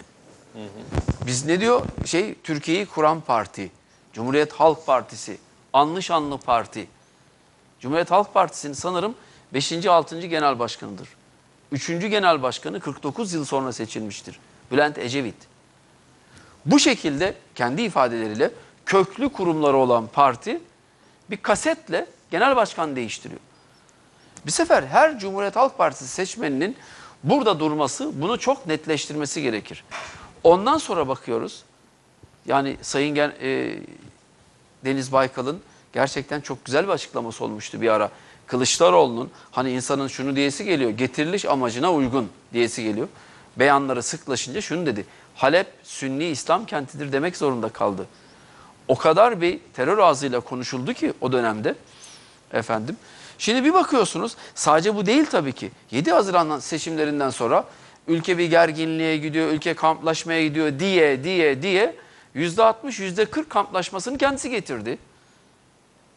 Orada sağ olsun Devlet Bahçeli buna karşı çıktı. Ve şimdi bakıyorsunuz Türkiye'nin asıl iki tane muhalefeti kalıyor. Diğeri artık belli oldu, belli etti kendisini. Terör saldırılarına karşı imza bile atmıyor. Yani canımız yanıyor. Siviller ölüyor. Siviller. Buna imza bile atmıyor. Efendim. Ee, bu belli artık. Diğer taraftan e, MHP'nin duruşunu kesinlikle tebrik etmek lazım. MHP'nin vaktiyle AK Parti'ye çok korkunç derecede eleştirileri vardı. Hepsini bir kenara koydu. Ülke bütünlüğü, ülke efendim savunması söz konusu olduğunda nasıl bir ülkenin birliği, bütünlüğü e, çerçevesinde nasıl yaklaştığını ortaya koyuyor. Ama biz CHP'ye bakıyoruz. Yani az önce söylediğim gibi Almanya'ya bir tane eleştirisi yok. Avusturya'ya bir tane eleştirisi yok. Bunlar zehir zemberek açıklamalar yapıyorlar. Amerika'yı Sebastian kolluyor. Kurz, Sebastian Kurz Avusturya Dışişleri Bakanı. Bu ülkenin Cumhurbaşkanı'na, bu ülkenin siyasi tercihi sebebiyle değil. Ne diyor? Ee, terörle mücadele yasasını değiştirin diyor. Bunlar Avrupa Parlamentosu. Terörden canımız yanıyor. Cumhurbaşkanı bunu eleştiriyor. Kılıçdaroğlu'nun hiç sesi çıkmıyor. Ama yeri geldiğinde Türkiye'yi dövmeye kalkıyor. Türkiye'yi eleştirmeye kalkıyor. Yani canımız yanıyor terörden.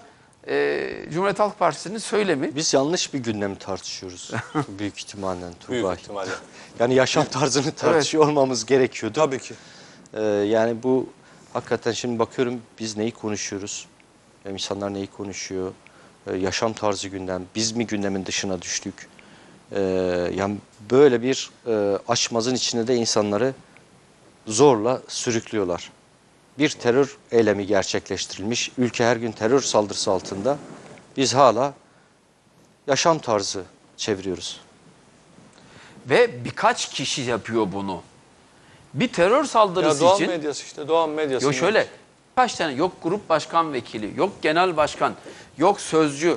Hep bir ağızdan bir Ya kampanya. Bir, bir KC atmış, bir KC program başından sonuna kadar o KC. Yaşam tarzına müdahale var mı? Ya da yaşam tarzına müdahale neyse öyle ona benzer bir şey. Program başlıyor bitinceye kadar aynı KC duruyor orada. Yaşam tarzına baskı. Yaşam tarzına baskı. Şimdi sen Bir de Pakistan mı oluyoruz? Pakistan o da dündü. Daha önce ne oluyorduk? Malezya oluyorduk, İran oluyorduk.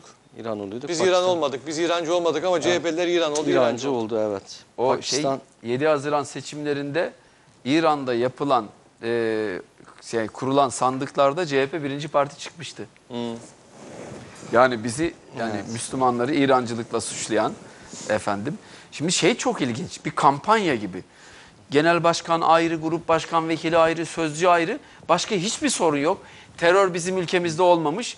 E, hayat tarzı ne oluyor? İşte bir nasıl? de tabii şöyle bir e, durum 15 Temmuz'dan sonra bu ülkede gündem belirleyememeye başladılar. Yani bir gün ülkenin gündemi Diyor çok ki- önemli bir şey. Diyor ki bu 15 Temmuz milleti kenetlendirdi. Evet.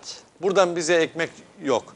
Biz tekrar bunları ayrıştırmalıyız. Nasıl bölmeliyiz. nasıl gündem saptırılacak? Tonlarca yüklü araçlarla bombalar patlamasa gündemi değiştiremiyorlar. Yani bu kadar devasa şiddet, bu kadar devasa bomba, bu kadar büyük katliam bir anlamda toplumsal gündemi, siyasal gündemi manipüle etmek için. Çünkü büyük olaylar ya- yaratamadıklarında istedikleri tartışma e, ortamını da ortaya çıkaramıyorlar. Yani öyle, tabi burada sorun şu, toplumu manipüle edebilmek, toplumu bu tartışmanın içine çekebilmek, siyasetin gündemini bu çerçevede belirlemek. Ne diyor? E, laik gençler laikliği savunduğu için cezaevine atılmış durumda. Ya bizim derdimiz bu Bak mu? sen. 39 tane vatandaşımızı katlettiği bir terör saldırısıyla bu terör örgütünün arkasında kim var, kimler var, bu terörün amacı nedir, hedefi nedir? Bunlarla ilgili tek bir kelime var mı? İlk gün böyle kısa bir yazılı açıklama bitti gitti. Biz sadece bunu tartışıyoruz. Yani parti liderlerinin başındaki gündem bu. Ya bir de şu, sen laikliği savunuyorsan bunun yeri kahveler falan değil. Konferans salonları. Bir alan istersin, bir, bir işte panel düzenlersin, sempozyum düzenlersin. En beğendiğin konuşmacıyı getirirsin, kalabalık toplarsın. Kahveler değil bunların Hayır, hayır. konuşması. Ve şimdi şu hayır, sıralarda değil yani. hayır. ben ona itirazım var hocam. Yok kahvede konuşabilir. İstediği yerde konuşabilir. Gidersin seni dinliyorlarsa konuşursun. Dinlemiyorlarsa konuşmazsın. Doğru mudur? Ya Zorla. Arkanda üç kişilik bellerinde silah olan adamlarla Heh, bu iş olmaz. Hem Bir. o hem de şu. İkincisi- Şunla örtüşüyor. Bu tür şeylerle siz oradan biz buradan der gibi böyle. Bu organize bir hareket yani. Beyefendice, medenice yapılacak yolları var bunların yani. Hayır bu terör sadece bu tür provokatörlerin önünü açma işlevi görüyor. Yani burada terör bombası patlatıyor. O mahallede kahvelere hücum ederek insanları terörize etmeye başlıyorlar. Ee, hazırlıkları da herhalde bu yönde. Ee, mahallelerde hendek kazacaklar herhalde. Yani bu gidişle bu layık gençler dedikleri, Diyarbakır'da arkadaşlar dedikleri e, burada da herhalde hendek kazacaklar. Eskiden şeyi suçlarlardı. Bunun önünü açmak için işte. Eskiden şey söylerlerdi, suçlarlardı. Şeriat elden gidiyor, kahvelerden giderdi bu. Şimdi laiklik elden gidiyor diye. Ortada öyle bir şey de yok zaten. Bir de bu terör saldırısını yapan DAEŞ. DAEŞ ilk defa yapmadı. Yılbaşından önce de yaptı. Başka ülkelerde de yaptı. Bunun hayat e, tarzı ile ilgili DAEŞ'in böyle bir hedefi yok. DAEŞ'in hedefi belli. Sen buradan bir şey konu çıkartmaya çalışıyorsun. Ya ısrarla IŞİD niye diyorsun? Israrla IŞİD diyorsun. Evet. Diyor ki kendine IŞİD diyor. Ya IŞİD bir problem. Yani kendisine başka şey söyleyene yani ikisini bir arada e, zikretmeyeyim diye Onun aynısını şöyle yapıyorlar. PKK takla vurduğu zaman da ısrarla tak diyorlar. PKK'da tak diyorlar. demiyorlar. Demiyorlar. O Avrupa Bak Parlamentosu'nda dün akşam yayınladım. Bugün bir kez daha yayınlayalım. Ee, Doğan medyasında e, o kadın IŞİD meselesine yani PYD'yi nasıl aklama derdinde. Bir verseniz onu. Ses. IŞİD'i buna MHP'liler de dahil, MHP seçmeni ve AKP seçmeni de dahil IŞİD'i PYD'den bile daha korkunç bir örgüt olarak görüyor. Yani demek istediğim burada tartışmanın boyutunu kaçırmış olmuyor muyuz? Ne düşünüyorsunuz? Merak ediyorum bu konudaki yorumunuzu. Buyurun. Yani ben size kısmen katılırım. Yani ama diğer taraftan hiçbirimiz e, zihin dünyamızı tamamen tasfiye etmiş değiliz. Yani PKK'nın da P, yani PKK'nın da PYD'nin de günah galerisine girdiğimiz zaman bebek kurşunlamaktan işte şeye kadar ne e, köy basmalara, büyük katliamlara kadar işte e, bir sürü şey anlatabiliriz. Yani esas itibariyle burada prensip düzeyinde konuya bakmak gerekiyor. Teröre karşı mıyız, değil miyiz? Nereden gelirse gelsin karşıyız. PYD hiç kuşku yok ki çok e, kanlı bir terör örgütü. Şiddetle mücadele etmek gerekiyor. Türkiye biliyorsunuz bununla ilgili çok büyük baskı altında kaldı. Terörle işbirliği yapıyor. PYD'ye göz yumuyor, işbirliği yapıyor. e, mücadele etmiyor diye. IŞİD'den Nihayet bahsediyorsunuz herhalde. mücadeleye girdi çok koalisyonla terör- birlikte. Bu sefer IŞİD'den PYD'ye karşı bahsediyorsunuz, mi? mücadelesinden rahatsız olanlar var. Yani dün PYD'ye karşı Türkiye mücadele etmiyor diye rahatsız olanlar bu, de, bu defa da niye bu kadar etkili bir şekilde bu işe gidiyoruz diye rahatsız olmaya başlıyorlar. Ee, çok özür dilerim yanlış şunu- anlaşılmasın. şunu düşünelim. PYD mi IŞİD'i mi kastediyorsunuz? PYD çok kanlı bir terör örgütüdür dediniz Erdinç Bey. Ha- Hangi, yani suçu lisan mi mı? PYD ettiniz? terör örgütü yapacak bir şey yok. PYD PKK'dır ve PKK terör örgütüdür. Ve prensip düzeyinde teröre karşı çıkmak gerekiyor. Kurtuluş. Vallahi e, yani Türkiye'nin en büyük sözde diyelim tabii de e, medya e, grubunun ana programlarından biri bu program. E, ısrarla ve ısrarla sürçülisan ettiniz herhalde. Onu PD demek istemiyorsunuz galiba. E, diyen bir moderatör var E, ve bir kişi de gerçekten "Aa, P, P, PYD terör örgütüdür dedi ve bunu izah etmeye çalışıyor. Diyor ki ya diyor bir sürü terör eylemi yapmışlardı. Bunlar birbirinin devamı anlatmaya çalışıyor. Ya bunu anlatmaya ihtiyaç mı var? Ya bizim her gün kaybettiğimiz canları kim öldürüyor? Yo şimdi işte Ve bunu normal evet diyor ki e, PYD'yi daha iyi görüyorlar DAEŞ'tan Türkiye'de böyle. Yani sen nereden biliyorsun bunu? Nereden çıkarıyorsun? Niye böyle bir insanların kamuoyunun Benim adına böyle bir e, düşünce belirtiyorsun? Yani bunlar dedik işte Kobani'de yalandan bunlar birbirlerine karşı savaşıyorlarmış gibi gösterdiler. Birlikte Türkiye'ye saldırıyorlar şu an. Peki bunların hesabını kim verecek? Bu PYD iyi örgüttür diyenlerin hesabını kim verecek şu an? Toplumu bu kadar yanıltan, manipüle eden yine programlarına devam ediyorlar. Bunlara yani herhangi bir e, baskı da söz konusu değil. Ama hiç mi insanların doğruyu, gerçekliği görme e, davranışı olmaz? Burada sizi şu duruma da itiyorlar. DAEŞ daha büyük bir kanlı terör örgütü mü, e, PYD mi diye. Siz PYD diyorsunuz, sizden liste bekliyorlar şimdi. Bunu niye söylediniz? Ee, sizin elinizde böyle deliller var mı gibi böyle bir şey bekliyorlar. Ya örgüt işte Al birini öteki. yani aynen öyle. Aynen öyle. Senin DAEŞ'le ilgili elinde liste çetele var mı? PYD ile ilgili var mı? Sen karşılaştırma yaptın Bu mı? tartışmanın kendisi nereden çıktı Yani? zaten? Yani böyle bir tartışmayı tartışmanın içine sürüklemek. Aa yanlış mı söylüyorsunuz? Sürçülisan ettiniz. Düzeltin. PYD öyle bir örgüt değildir. Yani nasıl bir tartışma ki bu? Bu Avrupa Parlamentosu'na müracaat ettiler ya Sonucu. bunlar. Evet. Ee, terör örgütü listesinden çıkartılmak için. Bence bunu hazırlıyorlar. Evet. Taka yaptırıyorlar güya her şeyi. PKK terör örgütü değil. Amerika, şey İngiltere ve Almanya açıkladı. Sayın Cumhurbaşkanı erken davrandı diyor. Bu Beşiktaş ve Kayseri saldırılarını PKK yapmadı, tak yaptı diye. Ee, PKK'yı şu an meşrulaştırma operasyonları var. E bunların bu tür e, vurguları da aslında boşuna değil, anlamlı hale geliyor yani. Peki. Çok teşekkür ediyorum. Ee, ne olur toplumu ayrıştırıcı, kutuplaştırıcı söz, ifade ve davranışlardan böylesine bir dönemden geçiyorken ne olur uzak durun. Farklı düşüncelerimiz olabilir, farklı ideolojilerimiz olabilir. Bunları tartışırız. Kaldığımız yerden devam ederiz o gün. Ama bugün ülkemizi savunmak zorundayız. Ülkemizi müdafaa etmek zorundayız. Kurtuluş Altı'nın defalarca çizdiği çok da güzel bir cümleydi o. Bugün vatanımız tehdit altında. Bugün bayrağımız, bugün milletimiz, bugün topraklarımız, bugün geleceğimiz, bugün evlatlarımız, çocuklarımız, torunlarımız tehdit altında. Yaşam tarzımız tehdit altında değil. Kimsenin içkisi, alkolü tehdit altında değil. Ne olur bu söylemi diline dolayanları şöyle kabul edin. Bunlar bu terör örgütünün sözcülüğünü yapıyor. Efendim hepinize iyi geceler diliyorum. Hoşçakalın.